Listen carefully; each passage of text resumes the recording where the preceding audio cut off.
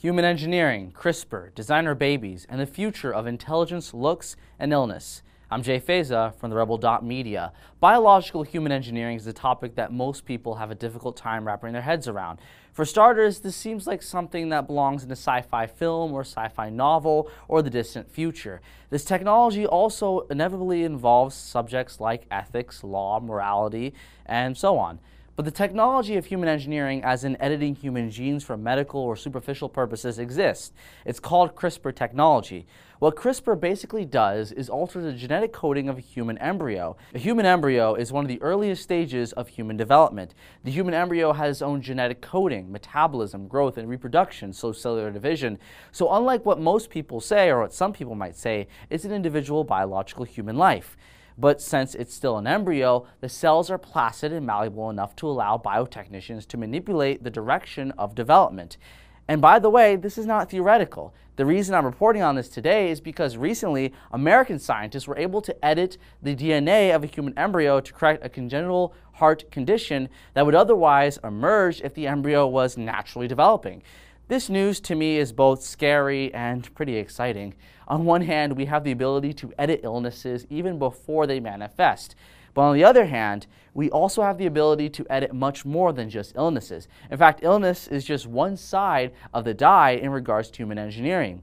Again, the human embryo is placid, malleable. The majority of behavioral traits and physical characteristics are developed in the fetus and infantile stages of human development, not embryonic. So basically, with CRISPR technology, you're able to edit the human being into something, any sort of recognizable superficial trait that you want them to have. This is something popularly called designer babies, a process where parents can genetically engineer children while in vitro for selectively specific traits.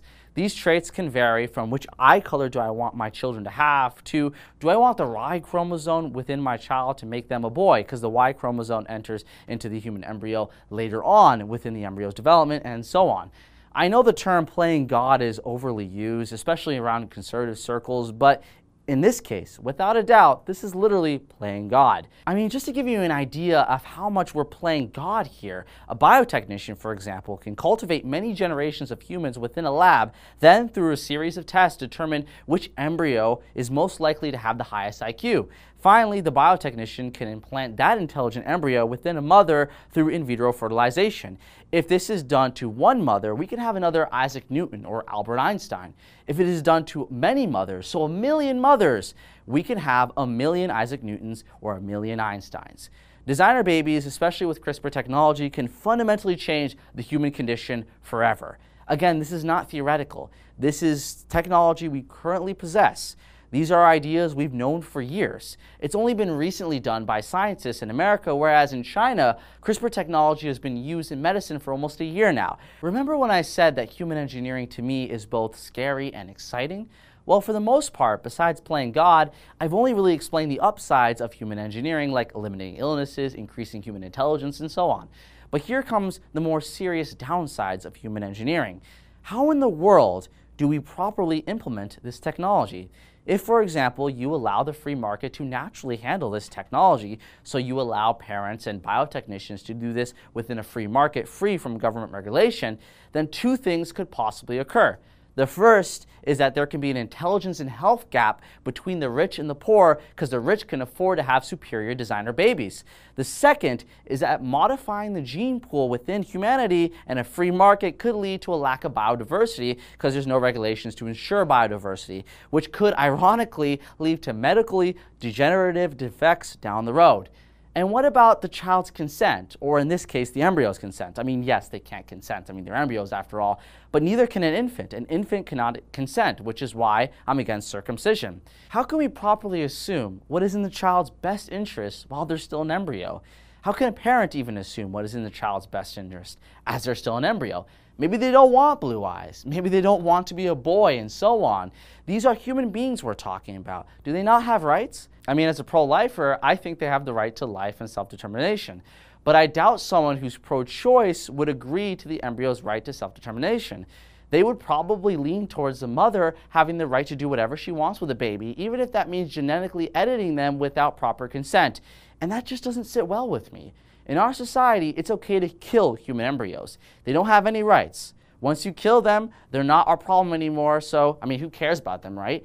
But just editing them means that they'll grow up. And that means we have to deal with them and the effects that we cause them. If we don't like the genetic edits that their parents gave them, how do we deal with what has already been done? I mean, even if we had strict government regulations on this, ignoring all the underground businesses that might occur from this, we still run into the moral problems like consent, weighing the parents' rights with the child's right, with society's obligations, and so on. After all is said and done, once it goes beyond curing people of their illnesses, which this technology can easily do, and I support that, we run into a number of moral and ethical dilemmas that I can't support and that won't be solved anytime soon.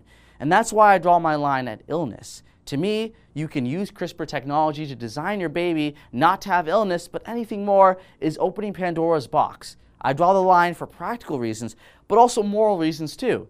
I think it's obvious that CRISPR technology can be used for good in the realm of medicine. But besides that, the abuses for this technology are abundant in the current system that we live under. There's virtually no way we can prevent the gap between the rich and the poor from occurring. Even if government starts to regulate the industry, it can still go underground. And if you think internationally, now we're significantly more intelligent than the third world. The inequalities between the rich and the poor, the haves and the have-not, here are nothing compared to the types of inequalities we have internationally. Imagine all the chaos we would have between the rich and the poor domestically and internationally. It could lead to conflicts, it could lead to wars, it could lead to arms races, as in intelligence races against China, for example. We're not ready to implement this worldwide. But even if we could negate those consequences, those horrible negative consequences, I'm still against this technology being used for anything besides medical purposes because I think the human embryo shouldn't be manipulated, tampered, or killed or anything like that. I believe they have the right of bodily autonomy. They are their own human being after all. So if we're not clearly helping them through medicine, we might be going against their wishes, and that's wrong. Again, I don't believe in circumcision because it could possibly be against the baby's wishes in the future. So why the heck would I support this? That's just my opinion, though, but alas, it's up to government officials to decide what's law and what's public policy, not journalists. Government officials from North America have, with exception to some labs, banned genetic testing on human embryos. However, much of East Asia, Southeast Asia, Russia, and some parts of Europe have yet to codify law on human genetic embryonic testing. That's mostly because these and many other questions don't have an easy answer to them. I didn't make this video to give you an easy answer. I made this video to report to you, the viewers, what's new in the scientific world, the problems that could emerge because of it, and a little bit of my opinion. But I want to know what your opinion is. What's your thoughts on this topic? What's your thoughts on human engineering? Do you think it shouldn't expand to things outside of medicine? Or do you think we should use this technology to overall better humanity despite the risks?